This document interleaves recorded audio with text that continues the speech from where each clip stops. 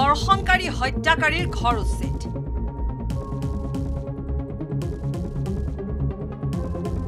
বুলডোজাৰেৰে ভাঙিলে ধৰ্ষণকাৰীৰ বাসগৃহ। চৰকাৰী মাটি বেদখল কৰি ঘৰ সাজি থকা দুধনৈৰ তিনিটা পৰিয়ালৰ বাসগৃহত চলিল বুলডোজাৰ।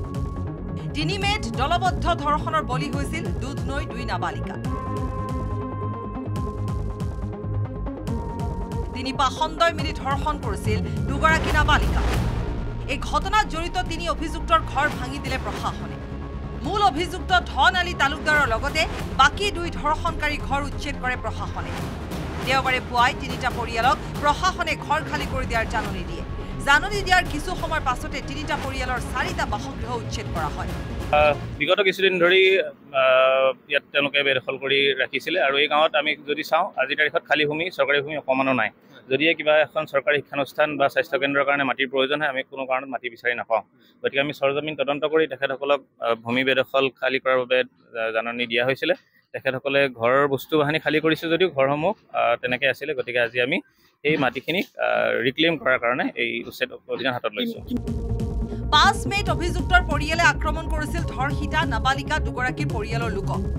চোকা অস্ত্ৰৰে আক্ৰমণ কৰাত মৃত্যু হৈছিল হিৰণময় খাখলাৰী নামৰ যুৱকজনৰ। ধৰ্ষণকাৰী পৰিয়ালে বেদখল কৰা মাটি উচ্ছেদ কৰাত সন্তুষ্টি প্ৰকাশ কৰিছে স্থানীয় ৰাইজে। দেওবাৰে পুৱাৰে পৰা শতাধিক আৰক্ষী আৰু নিৰাপত্তাৰক্ষী মোতায়েন কৰিছে প্ৰশাসনে। শান্তিপূৰ্ণভাৱে উচ্ছেদ কৰে ধৰ্ষণকাৰী তথা হত্যাকাৰী পৰিয়ালকেইটাৰ বাসগৃহ।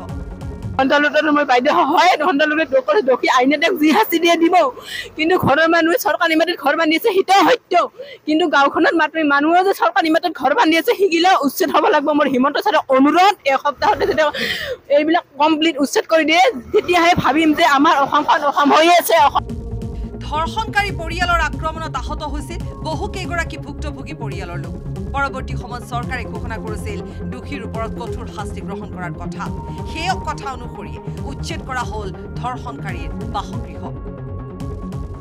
পৰা অৰূপ নাথৰ report news eighteen Assam north east.